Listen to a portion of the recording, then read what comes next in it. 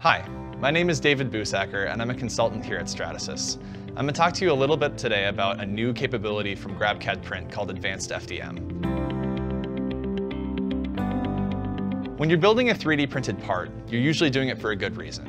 Maybe you want to build the thing a little bit cheaper.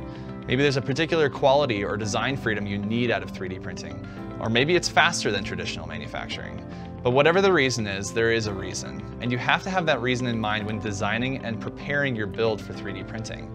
This is called design for additive manufacturing. To achieve optimal design for additive manufacturing, it typically requires manipulation of the CAD or even tweaking of tool paths, which can take a lot of time. But with advanced FDM, the design for additive manufacturing steps are brought straight into the build preparation step.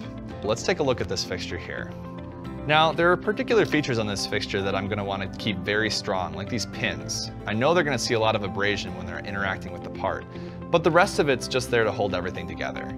Therefore, with advanced FDM, I can add high strength to these pins while keeping the rest of it pretty sparse, therefore optimizing by cost and strength. Another example of the use of advanced FDM is with holes. Now, horizontal holes are very notorious for building asymmetrically and requiring support, which is going to be more expensive and take more material. Using advanced FDM, you can modify the actual geometry of these holes so they won't require support.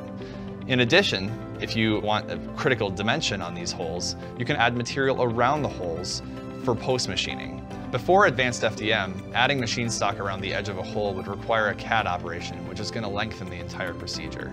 Now, if you want to add threaded inserts to your holes, typically you create the hole width in CAD and then export to build preparation software. But sometimes that width isn't just right, or you're going to change the insert. If you want to adjust the insert on the fly, Advanced FDM will allow you to actually adjust the dimension of your hole in the build preparation software, so you don't have to go back to CAD to perform that kind of an operation. In the end, GrabCAD Print software Advanced FDM takes the time out of making great designs.